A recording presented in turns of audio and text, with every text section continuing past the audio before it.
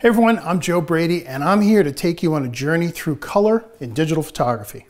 There's going to be a few pieces of gear to add and a handful of tips, tricks, and workflow to follow in both Photoshop and Lightroom to make this all come together. In this first video, we're going to start right at capture. From the moment that you pick up your camera and press the shutter, the color in your photos is going to go through changes, most of which are going to cause loss of vibrancy and accuracy. We're going to make sure you keep the best color possible through the entire process. We'll do this by creating a custom color profile for our cameras. So the questions are, well, one, what is this profile? And two, why do I need one? When you bring your raw images into software, either Lightroom or Adobe Camera Raw, the software needs a way to translate the color in the file into something you can actually see on the screen. Adobe provides a standard conversion that does an okay job to start, but it requires a lot of adjustments to try to bring back the color that was in the scene. A custom profile is a snapshot of how your specific camera records color. To make this happen, you do need one of the best accessories that I think every photographer should have. This is the Color Checker Passport from X-Rite. I've got four different cameras with me today to create custom camera profiles. I've got, let's see, I've got a Canon Rebel T7i. I've got my Sony a6300. And I've got two cameras from Fujifilm. I've got a Fuji X-A7 and a Fuji X-T200. Once I have a raw file shot of the passport with each of these cameras, that's all I'm going to need. By the way, there are times when having more than one profile is a great help. We'll get into that more in further programs. So let's head outside and get started. It's time to start our journey into digital color with our photography. And it's going to start at capture, and that's what I'm out here right now preparing to do. And that's set up my cameras for getting the best color possible right out of the camera because as each step takes place from capture to edit to output, you're going to lose color a little bit each time. We want to maintain the most we can and get the most accurate color possible. And the start of that is a device that I've been using for, I don't know, 10 years or so. And I don't do a shoot without it. And that's the Color Checker Passport from X-Rite. What you want to do is with each of your cameras, you want to take a picture of this. Now, this is where most of the action happens. This is a handy item that we'll see when we get into software. And all you need to do is simply take a well-exposed picture of this. You don't want to have any of the squares clipping. You mean they need to all have data in them. So make sure your exposure is good, but that's it. I just want the sun illuminating it in full. And I'm going to get a great reference to have the best color possible. And once we bring it into software and you see how easy it is to use, I promise you, you're going to want one. So I'm going to get my cameras out and take pictures of this target. So here's my shot of the entire target. Again, I want to make sure there's sun on it. And I'm going to shoot one that's primarily the lower target as well. So that's as complicated, complicated. So that's as complicated as it is to get started. I've got pictures of this. The rest is going to take place in software. So just make sure you have a good shot. There's a lot more that this thing can do, and we'll talk about it a little bit more. So here we are in Lightroom. I've imported all of the Color Checker Passport shots from the various different cameras. And uh, let's just take a quick look. You can see from the extension, I hit the I key in Lightroom to cycle through. Uh, CR2 is a Canon extension, so these this is the Canon Rebel. Uh, there's a shot of both targets, and there's a shot just of the primary target. And by the way, so this is what you don't want to happen when you take a picture. You want to make sure there are no shadows over it. You don't want to have it looking like this. This target needs to be in full sun when you're doing this. So you don't want it to look like this. You want it to look like that, okay? So here's an ARW camera, ARW, which is the Sony extension. So this is with the Sony a6300. Uh, RAF is Fuji, and you can see from the uh, I can see from the XF 18 to 55 millimeter lens. This was shot with the Fuji X-T200, and then lastly, you see the XC 15 to 45 millimeter lens. This was photographed with the Fujifilm X-A7. So we're going to create profiles for each of these cameras and we're going to see the difference between what Adobe is giving us with the standard Adobe color conversion versus having a custom color profile with the X-Rite Color Checker Passport. So let's jump back to, I'll take this big one of the Rebel T7i. And here's what you do. It's very simple. So all you need to do is go to File, Export with Preset, Color Checker Camera Calibration. I'm going to name it Rebel T7i and I hit save.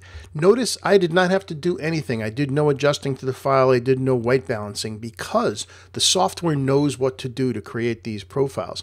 It finds the target. It knows that these patches here, for example, down in the bottom row, are neutral. It can white balance off of that. So this is a raw file.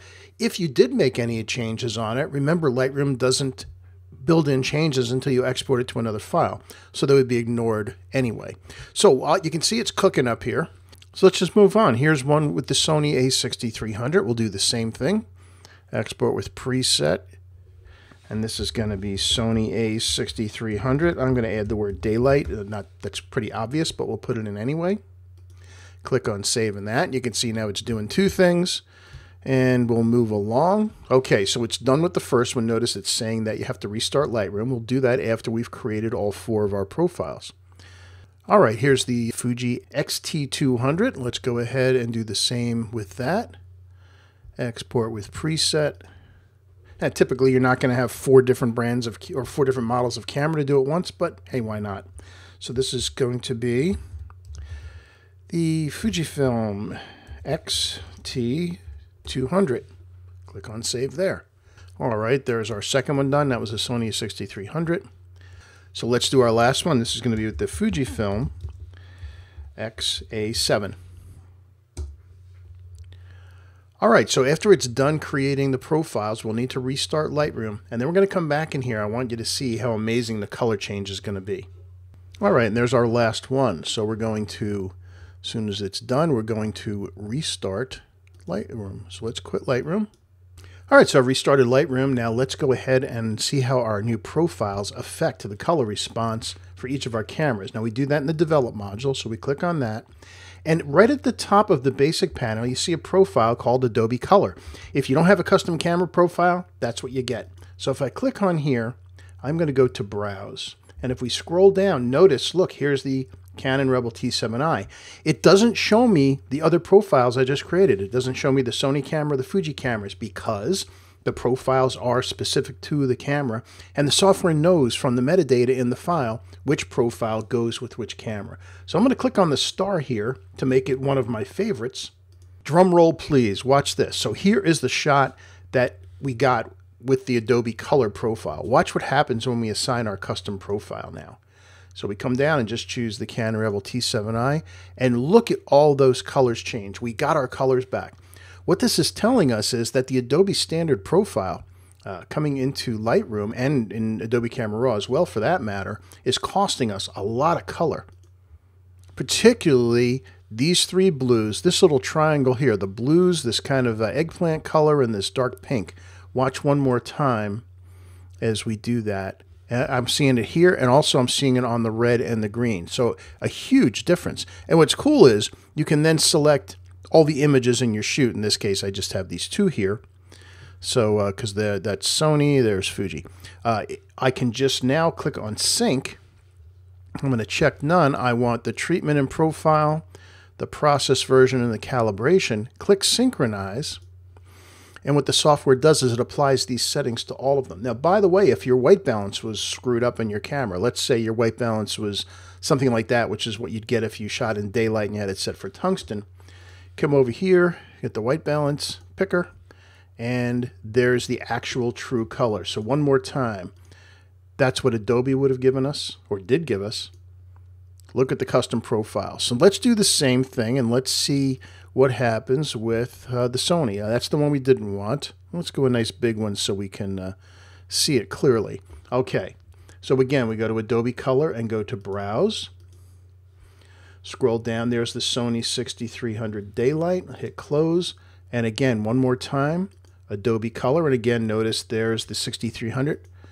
And look at the profile again. So let's go ahead and zoom in a bit.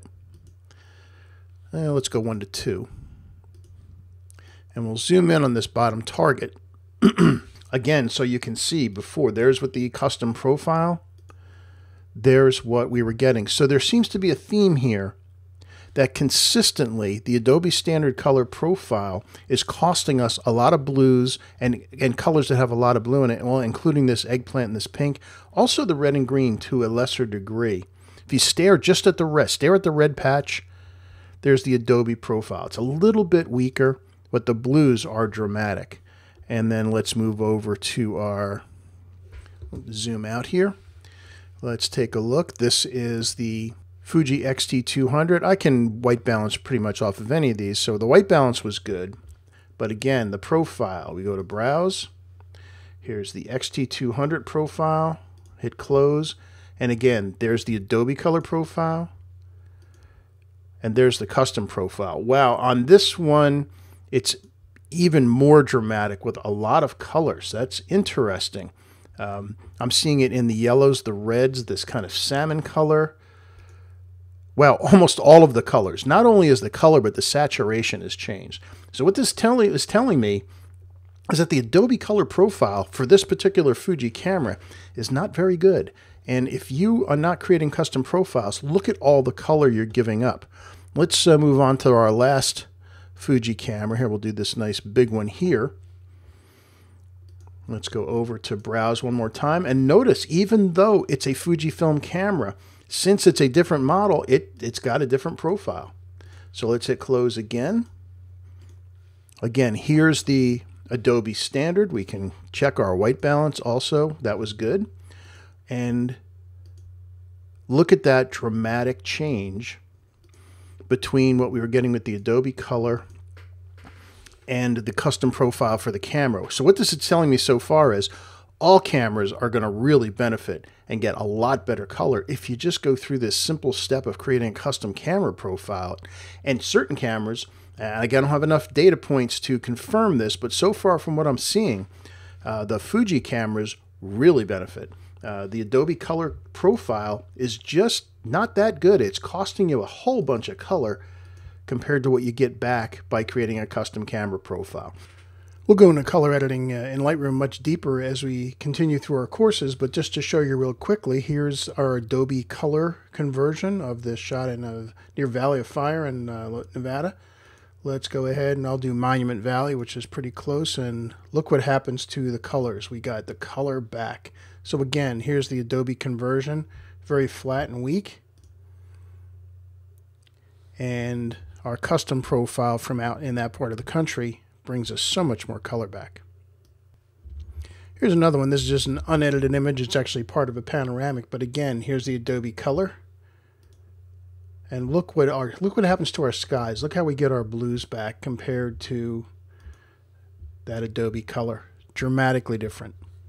So I hope that made clear how important these things are. Custom camera profiles, easy to do incredibly powerful. It will make your color editing so much easier because once you create one, assign it to all the images that you took in that shoot, and you're done. You've got perfect color to start with. Now that you've seen how much color is being returned to you with the Color Checker Passport, I know you want to have one. This has saved me hours of time when I edit my images. And having the best color possible at the start is the first step to a color workflow that ensures consistently great color results. The next step, which is possibly the most important one in our journey through a color workflow, is to make sure our screens are showing the best color possible. This involves a bit of hardware to calibrate our monitors. So join me in the next video as we do a monitor calibration and within there I'll follow up with a tutorial on color editing an image in preparation for print. Thanks for watching. I'll see you in the next video.